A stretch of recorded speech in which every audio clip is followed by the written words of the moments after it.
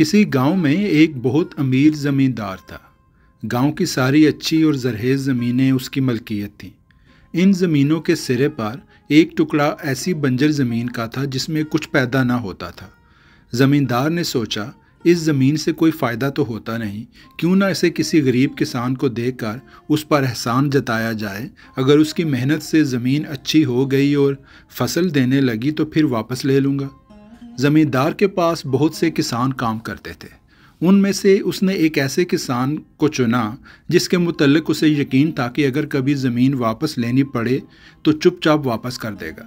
ज़मींदार ने किसान को बुलाया और कहा, मैं अपनी ज़मीन का वो टुकड़ा जो टीले के पास है, तुम्हें देता हूँ। मेरा उससे अब कोई ताल्लुक नहीं। तुम मेहनत करके उसे ठीक करो। उसमें तुम जो भी फ़सल उगाओगे, वो तुम्हारी होगी। किसान ने ज़मींदार का शुक्रिया अदा किया और अगले ही दिन ज़मीन पर काम शुरू कर दिया। उसने एक हफ़्ते लगातार मेहनत करके ज़मीन में से कंकर, पत्थर और घास फूस साफ़ किया और उसमें हल चलाना शुरू किया। लेकिन एक जगह हल किसी चीज़ में अटक गया। उसने हल रोक कर उस चीज़ को निकालने के लिए उस जगह ज़ोर से फावड़ा मारा। जो ही फावड़ा ज़मीन पर लगा, ऐसी आवाज़ आई जैसे लोहा लोहे से टकराता है।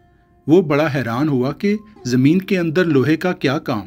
उसने फावड़ा फेंक दिया और बेलचे से आहिस्ता आहिस्ता ज़मीन पर से मट्टी हटाने लगा।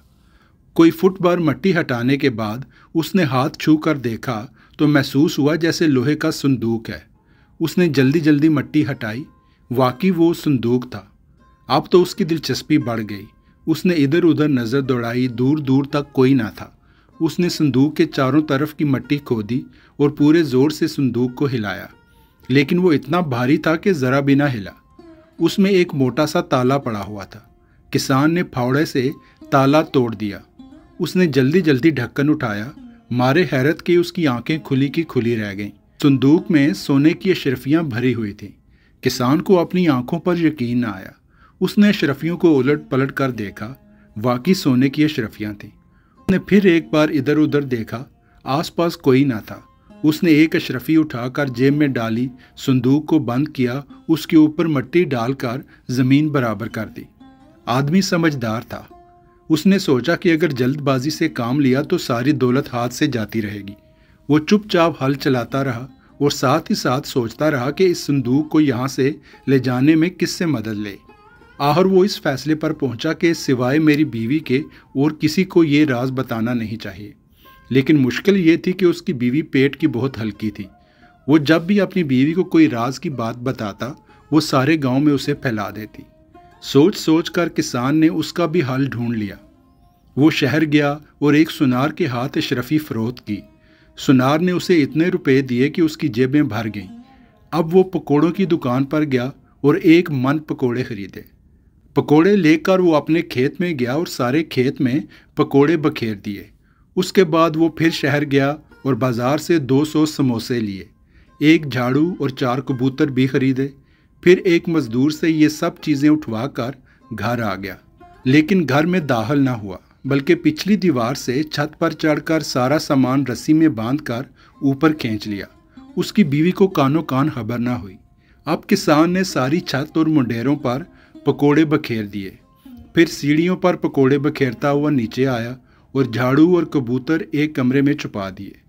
उसे देखते ही उसकी बीवी कहने लगी, तुमको तो बस घर की कुछ परवाह ही नहीं। उस बेकार ज़मीन पर सारा दिन वक्त ज़ाया करते रहते हो। मैं पूछती हूँ, क्या हम हमेशा यूँ ही भूखे रहेंगे?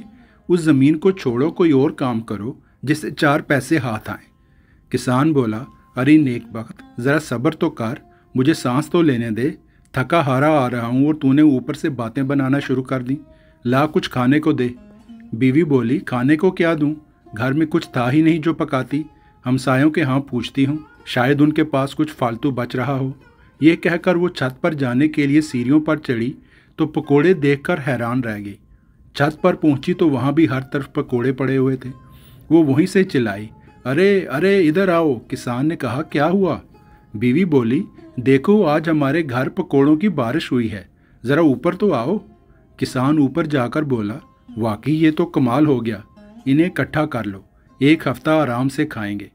जब वो पकोड़े खा रहे थे तो किसान ने कहा, मैं तुम्हें एक खुशखबरी सुनाता हूँ। लेकिन शर्त यह है कि ये बात तुम्हारे सिवा किसी और को मालूम ना हो। बीवी बोली, तुम पूरी तसल्ली रखो, मैं किसी से ज़िक्र ना करूँगी। इस पर किसान ने बीवी को संदूक वाली बात बता दी। लेकिन पकोड़ों, समोसों, झाड़ू और कबूतरों के बारे में कुछ ना बताया। इतनी दौलत का ख्याल करके किसान की बीवी का मुँह खुले का खुला रह गया। वो बोली, चलो अभी अभी उठा कर लाते हैं वो संदूक। किसान बोला, कैसी बातें कर रही हो? रात तो हो लेने दो। अंधेरा हुआ तो दोनों घर से बाहर निकले। किसान ने कहा, पहले तुम जाओ, मैं थोड़ी देर बाद आऊँगा। बीवी चली गई तो किसान ने जल्दी जल्दी कबूतरों को ज़बा किया और उनके खून में झाड़ू को हूप तर कर लिया। फिर भागकर बीवी से आ मिला। दोनों ज़मीन की तरफ़ जा रहे थे कि किसान ने चुपके से झाड़ू हिलाई, जिससे खून के छींटे उड़कर उसकी बीवी के कपड़ों पर पड़े। बीवी ने कपड़े देखे तो बोली, अरे, आसमान तो बिल्कुल साफ़ है। तारे निकले हुए हैं। ये बारिश कहाँ से हुई? किसान बोला, साफ़ मौसम में बारिश हो तो पानी की बजाय खून बरसता है। यूँ ही बातें करते हुए वो अपनी ज़मीन पर पहुँच गए। खेत में कदम रखते ही किसान की बीवी चिल्लाई, अरे अरे, ये देखो, ये तो समोसों की बारिश हुई है। ये कहकर उसने समोसे उठा उठा कर खाने शुरू कर दिए। उसके बाद दोनों ने अशरफियों का संदूक निकाला और खामोशी से घर की तरफ़ चल दिए। रास्ते में जमींदार की हवेली पड़ती थी। किसान और उसकी बीवी हवेली के पास से गुजरे तो हवेली के चौकीदार के कराहने की आवाज़ आई। किसान जानता था कि चौकीदार काफ़ी अरसे से बीमार है। बीवी ने पूछा, ये कौन रो रहा है? किसान बोला, सुना है एक जिन जमींदार को उठा कर ले गया है, इसलिए उसकी बीवी बच्चे रो रहे हैं। घर पहुंचकर किसान ने ज़मीन खोदी और बीवी की मदद से अशरफियों वाला संदूक उसमें दबा दिया। सुबह उठते ही किसान की बीवी ने किसान से मुतालबा शुरू कर दिया कि उसे अच्छे अच्छे कपड़े और जेवरात बनाने के लिए कुछ अशरफियाँ दे। लेकिन किसान डरता था कि अगर इस तरह इन्होंने रुपए खर्च किए तो लोग सोचेंगे कि इनके पास अचानक इतनी दौलत कहाँ से आ गई। दूसरे वो ये भी नहीं चाहता था कि उसकी बीवी फजूल दौलत उड़ानी शुरू कर दे। उसने अशरफियाँ देने से इनकार कर दिया। बीवी अपनी आदत के मुताबिक शोहर से खूब लड़ी और फिर नाराज़ होकर पड़ोस में जा बैठी। किसान ने ज़मीन में से संदूक निकाला और सहन के कोने में नया गड़ा खोद कर उसमें दफन कर दिया। शाम को किसान की बीवी वापस आई और अपने कमरे में जाकर लेट गई। थोड़ी देर बाद हमसाई की बीवी आई और किसान की बीवी ने उससे कहा बहन, मैं तुम्हें एक बात बताती हूँ, लेकिन शर्त यह है कि तुम इसका ज़िक्र किसी और से ना करना। हमसाई ने उसे यकीन दिलाया कि वो किसी से ना कहेगी तो किसान की बीवी ने उसे अशरफियों वाले संदूक की बात बता दी। औरतों के पेट में कोई बात नहीं ठहरती। हमसाई ने वो बात किसी और को बता दी, और यूँ होते होते ये बात तमाम गाँव में फैल गई।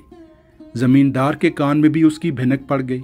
ज़मींदार गुस्से से बिफरा हुआ किसान के घर आया और बोला तू बहुत धोखेबाज और बेईमान है। मैंने तेरी उर्बत का ख्याल करके तुझे ज़मीन दी। उस ज़मीन में से अशरफियों का संदूक निकला तो तुझे चाहिए था कि फ़ौरन मेरे हवाले कर देता। कहाँ है वो संदूक? किसान पहले तो बहुत घबराया, लेकिन फिर घबराहट पर काबू पाकर कहा, हुजूर, मेरी क्या मजाल कि इतनी बड़ी दौलत हाथ आती और मैं आपसे छुपाता? ऐसी तो कोई बात ही नहीं।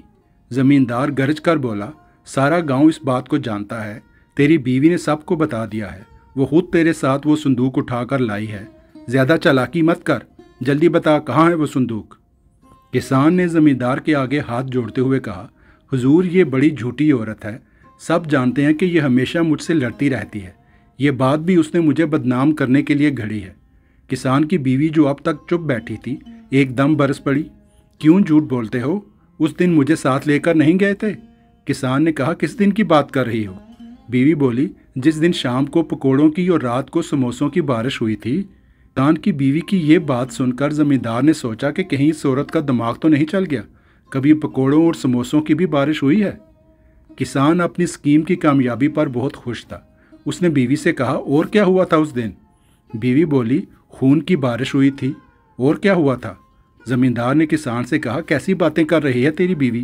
खून की बारिश तो हमने ना कभी देखी, ना सुनी। किसान ने कहा यह हमेशा ऐसी ही बक बक करती रहती है। फिर उसने अपनी बीवी से कहा, कुछ और याद हो तो वो भी बता दो। हाँ हाँ बीवी बोली। उस दिन एक जिन जमींदार साहब को उठाकर ले गया था और हवेली में लोग रो रहे थे। ये सुनते ही जमींदार को गुस्सा आ गया। उसने अपने मुलाजमों से कहा, इस चुड़ैल की खूब मरम्मत करो। किस जिन की ज़रूरत है कि मुझे उठाकर ले जाए? इस कम वक्त ने झूठ बोलकर गरीब किसान को नाहक बदनाम किया। किसान की बीवी बोली हुजूर, आप उसकी बातों में ना आए। मैं आपको वो जगह दिखाती हूँ जहाँ हमने संदूक दबाया था। ज़मींदार के हुक्म से मुलाजमों ने वो जगह खोदी जहाँ किसान की बीवी के मुताबिक अशरफियों का संदूक दबाया गया था। लेकिन वहाँ से कुछ भी ना निकला। अब तो ज़मींदार को यकीन हो गया कि इस औरत के दिमाग में ज़रूर कोई ख़राबी है। गुस्से से पैर पटकता हुआ चला गया। किसान ने बीवी से कहा, अब क्या ख्याल है? और बताओ लोगों को ये बात। और खूब जूते खाओ। बीवी अपने किए पर बहुत शर्मिंदा थी। उसने शोहर से माफ़ी मांगी और आइंदा कभी घर की बात किसी को ना बताने का अहद किया। कुछ अरसे बाद वो दोनों गाँव छोड़कर शहर चले गए और वहाँ हँसी खुशी रहने लगे।